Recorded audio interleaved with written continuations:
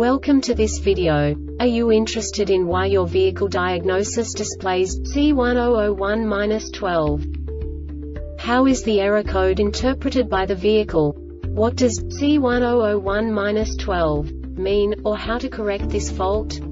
Today we will find answers to these questions together. Let's do this. First, let's look at the history of diagnostic fault code composition according to the OBD2 protocol, which is unified for all automakers since 2000.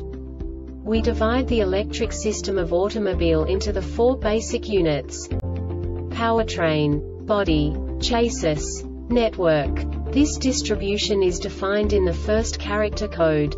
If the second character is expressed as zero, it is a standardized error.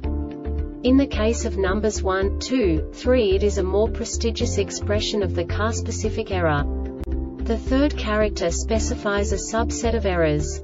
The distribution shown is valid only for the standardized DTC code.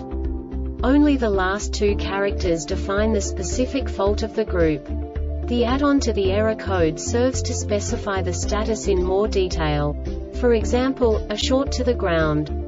Let's not forget that such a division is valid only if the other character code is expressed by the number 0.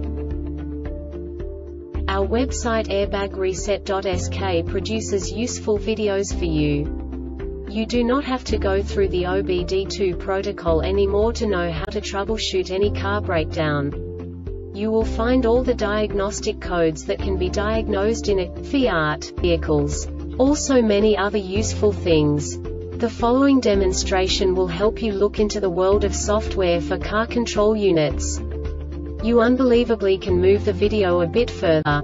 The error code is split into two bytes consisting of 16 bits. One bit is the basic unit that each computer works with. The bit has two logical states. 0, low level, 1, high level. By combining the first two bits, the basic character of the error code is expressed. The next two bits again determine the second character. The last beat styles of the first byte define the third character of the code. The second byte is composed of a combination of 8 bits. The first 4 bits determine the fourth character of the code. And the combination of the last 4 bits defines the fifth character. A single byte conceals 256 possible combinations. We now know in what way the diagnostic tool translates the received information into a more comprehensible format. The number itself does not make sense to us if we cannot assign information about it to what it actually expresses.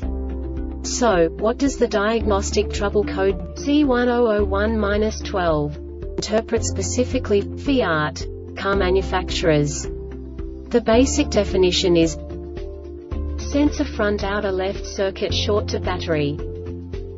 And now this is a short description of this DTC code.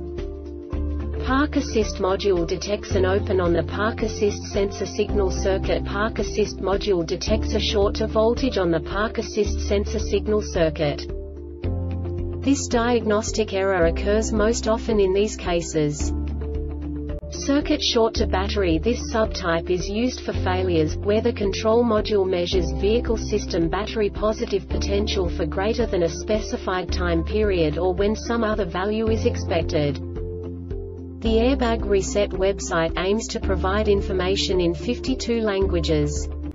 Thank you for your attention and stay tuned for the next video.